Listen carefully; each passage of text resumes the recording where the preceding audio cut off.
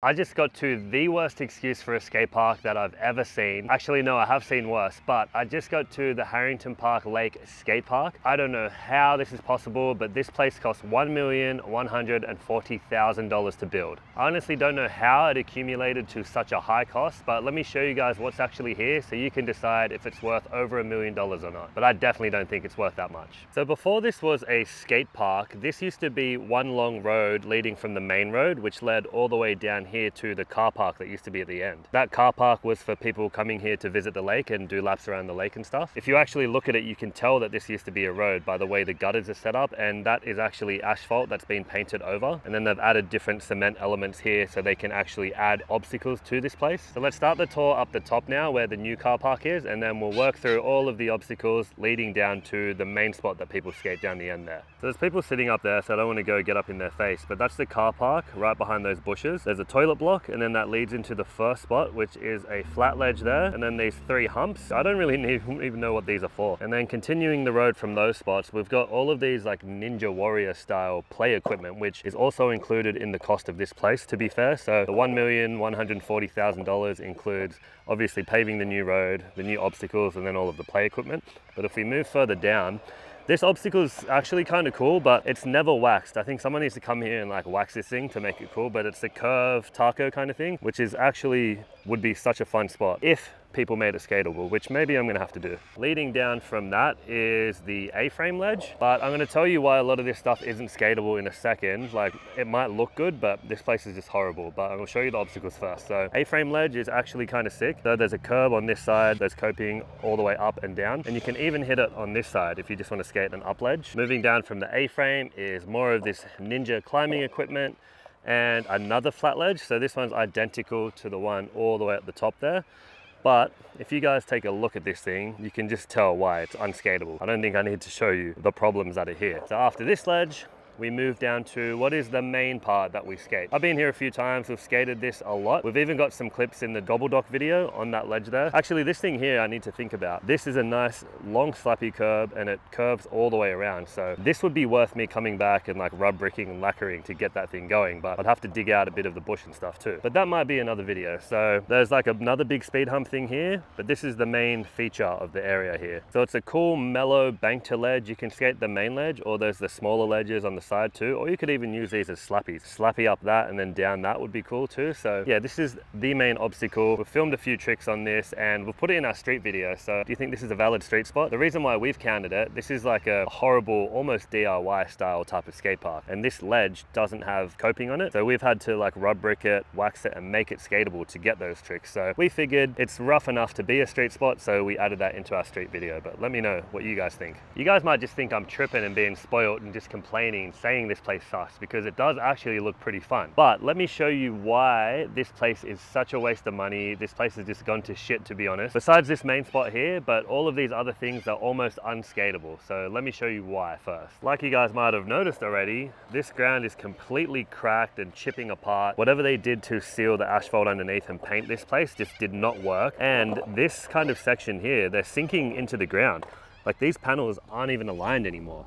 And look at the massive gutter that's basically in here. You guys might have noticed this when I showed you the ledge already, but this is almost unskatable because you can't even get to it. The only way you can skate the ledge is if you come from here, can run through this part and skate at my backside on this side because you can't really get to it this way because this crater is just way too big. The same thing's happening over here where the A-frame is. I don't know if you can tell, but that whole panel there has like sunken in. So there's a big crack there when you're trying to ride up this side to hit the A-frame. On this side, it's not quite as bad, but you can tell that's, that panel is separated anyway, the one that leads to that. So that's eventually gonna sink further down and this will be unskatable because you won't even be able to ride up it. But to be fair, this one looks pretty sweet because the joint is closer to the actual cement that they've made, but there is a panel there still. I don't know why the panels are cracking like that, but that panel also is eventually going to sink down and not be able to skate this thing too. All three of those humps behind me as well are elevated and they're starting to crack as well. So it's only a matter of time before they become unskatable. And the ledge up the top there has the same problem as the ledge down the bottom. It's on a separate panel and that gutter has kind of sunken in. So it's almost unskatable because you can't even ride over it properly to get to the ledge. To be fair, this place did open six years ago, but I've never seen any skate park fall apart, start to crack and the panels come unplaced like this. The problem I think is that they tried to build a skate park on top of a road that already existed. They didn't lay the proper foundations and slabs to build a skate park on top of. But even if they did, this place still isn't worth over a million dollars. I still don't know how it's possible for this place to cost so much for how little is actually here and how poorly it's built too. So I'm starting to feel kind of bad. I'm saying nothing but bad things about this place. So I'm gonna try and skate everything that's here and try and find some positives of this place. I know the bank to ledge is fun, we've skated that a fair bit, like I said, but I'm gonna try and skate some of the other obstacles and just come away with a positive experience in this place. But after seeing this whole place, let me know what you think. Is this worth $1,140,000? Because I've seen skate parks that are built way better than this for half the price of that. But let's start cleaning this area up and get a session going.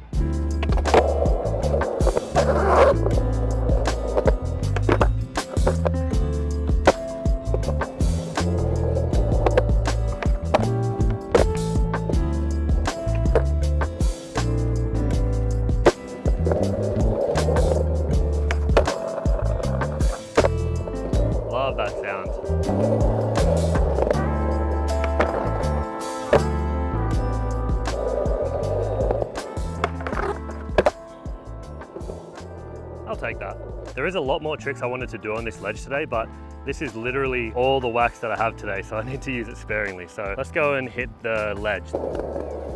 Ooh, that is awkward with that bush right there. Probably have to ollie over the top to get it. Oh, I feel like such a cheater ollieing over the top. Like it's not exactly backside. I'm kind of like neutral grinding it. Oh, Jesus. See, this big fat crack isn't that bad to roll this way if you roll down it. There's no way you're coming this way. What the hell was that? What the?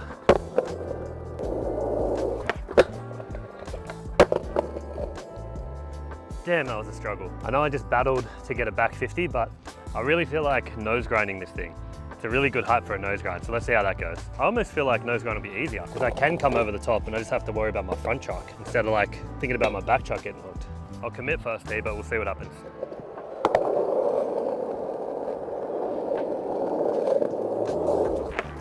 Whoa! All right. These ace trucks go too. They grind so well, especially on that concrete ledge that I started on. The grind sounded so good. I do back nose grinds a lot, so I should get it within three tries. Oh no! I don't usually go over the top for nose grinds though. I'd come at it like legit backside. Oh, I'm missing the coping like I did with the 50. Oh no! Oh, there we go. Finally grinded. There we go. That felt good actually.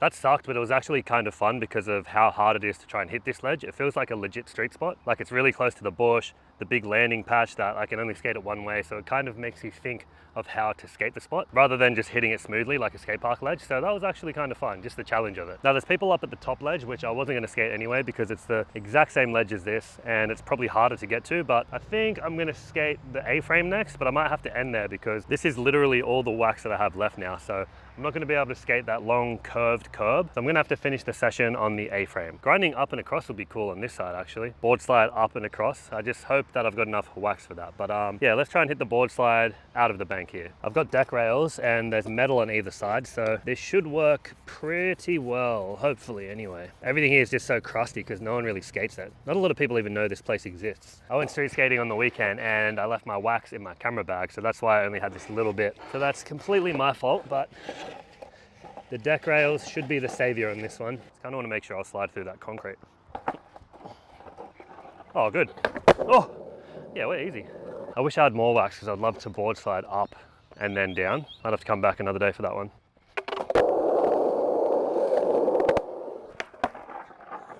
Jeez, is that slippery actually? Let's try and get a cleaner one. I always wax this shit out of stuff and then get surprised that it's so slippery.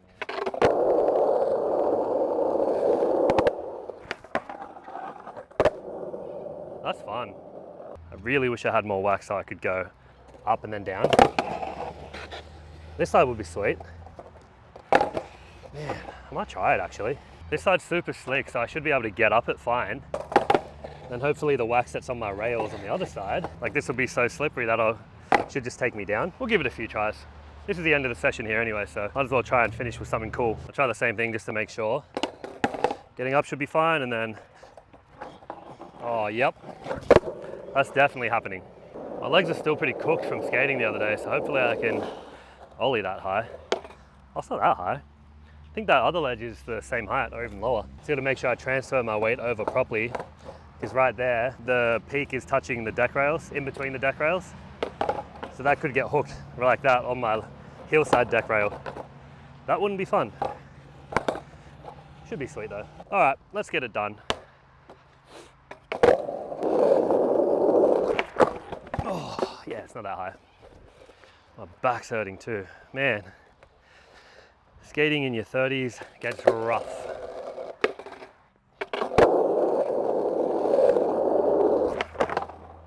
Oh no, I thought I was gonna go back down. All right, I was going pretty slow then and I made it three quarters up. So a lot faster to get over that peak. Oh, my truck touched it. Oh no, my truck got on again. Oh my God, I ruined it. Ah, oh, we got it though. Just need to clean that up. That's so fun.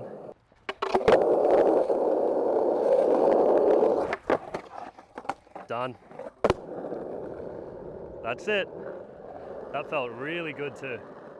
Such a fun obstacle. So I'm gonna need way more wax for this obstacle to be skated.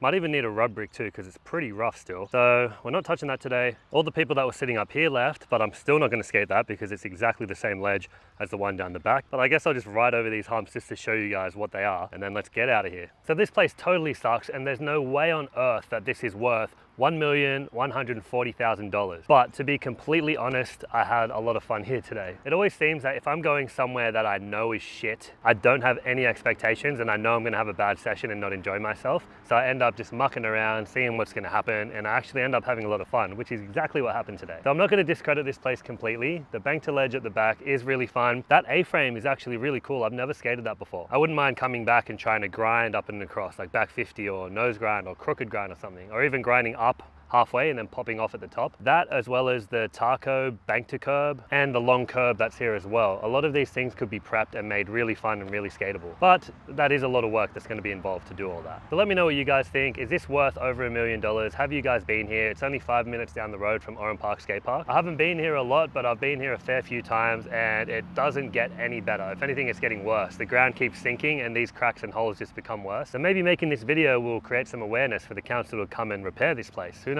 But it's completely completely up to you guys if you want to come out of your way to skate this place. So hopefully you enjoyed this video. I actually had a fun session. I'm still super sore from skating on the weekend, so it's nice to have a cool chill session like this, but still skate. So if you did enjoy this video, check out the video I did at Gregory Hills right here, where they have these random as obstacles out in a random park, similar to this. It's just a long path through a park, and then there's like a pole jam, a flat bar, and some other obstacles. So check that out here. Let me know how much you think this park should have cost, and I'll see you guys in the next one. Peace.